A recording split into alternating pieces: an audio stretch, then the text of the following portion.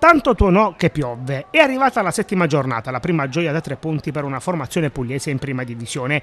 Nella domenica in cui il Barletta ha osservato il turno di riposo, è stato il Lecce a sfatare un tabù durato un mese e mezzo.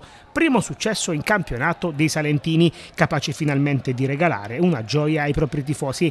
Il blitz di Pagani al cospetto di una squadra, quella campana poco più che modesta, porta la ferma di Dumbia a segno con il mancino è capace di rompere un incantesimo che rischiava di cancellare qualsiasi velletà dei giallorossi di Lerda.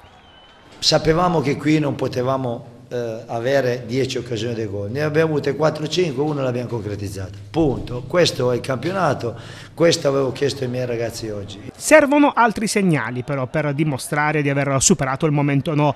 La vittoria con la Paganese è solo il primo passo dell'operazione riscatto utile a lasciare l'ultima posizione in classifica, ora la maglia nera del girone B è solo della Nocerina e portarsi a meno 4 dal nono posto, obiettivo minimo di una squadra costruita per ambire a qualcosa di molto più importante.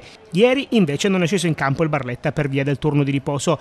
I biancorossi di Nevi Orlandi, alla ricerca ancora della prima vittoria in campionato, torneranno a lavorare domani pomeriggio al Puttilli e cominceranno a preparare la gara casalinga di domenica prossima contro la matricola Rivelazione L'Aquila, vice capolista del girone e vittoriosa anche ieri in casa con il Grosseto, gol di Del Pinto nel corso del primo tempo. È una squadra che ha delle buone qualità, ha una propria identità di gioco, è una squadra che bisogna stare molto attenti, ma noi giocheremo la nostra partita come abbiamo fatto sempre con le altre.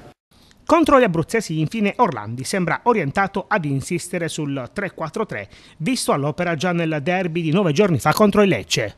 Un equilibrio che abbiamo trovato tra la fase difensiva e la fase offensiva ehm, in virtù di quelle che sono le caratteristiche di questi giocatori in questo momento hanno, hanno fatto bene, vedremo, l'abbiamo provato anche in questa settimana ma miglioreremo anche questo aspetto settimana prossima.